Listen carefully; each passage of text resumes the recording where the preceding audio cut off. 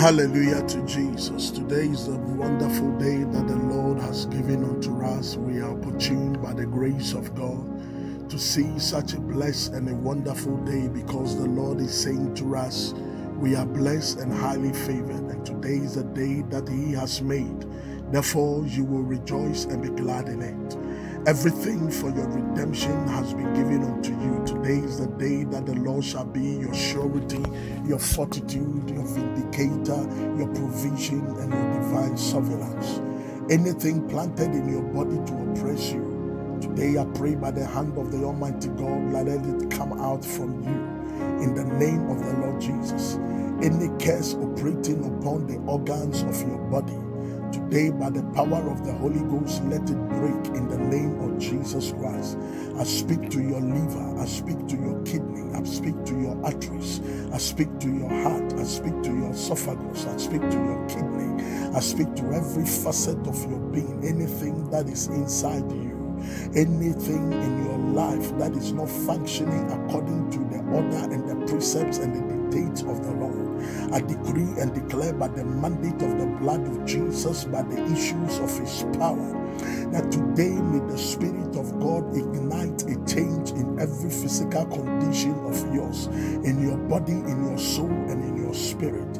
I pray that the Holy Ghost fire will purge you from every satanic infirmity, from every disease from your bloodline from your lineage, from your father's household, or from your mother's household. As a result of your marriage, any connection and any contact, any affiliation, any association, any hand of the enemy that have been stretched over your life and over your destiny, this very day I pray by the hand of the Lord and by the power of the blood of Jesus, that may the Lord set you free from every norm of the enemy anything planted in your body to oppress you by the fire of the Holy Ghost, let it come out from you in the name of Jesus.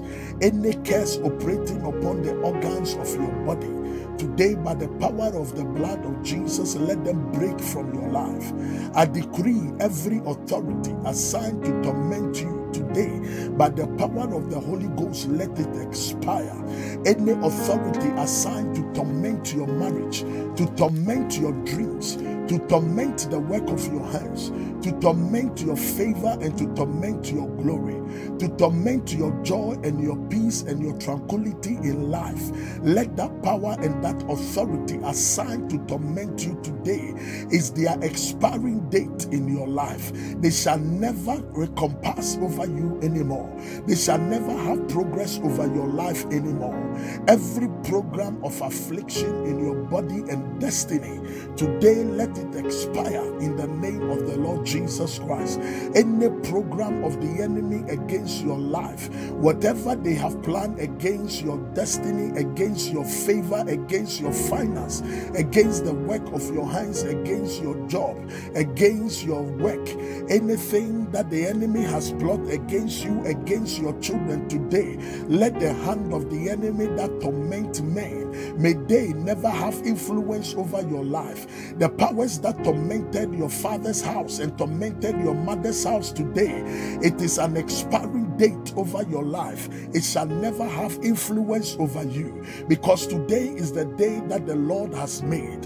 Therefore, you will rejoice and you will be glad in it. I pray by the power of the word of the living God that may the word of the Lord cover you and cover your entire day. May this day be fruitful for you. Jesus' mighty name, we have prayed. This is Apostle Dr. Jerry Otin from Global Harvest Ministries Worldwide. Remember, you are a property of the Holy Ghost. Satan, back off. In Jesus' name, amen.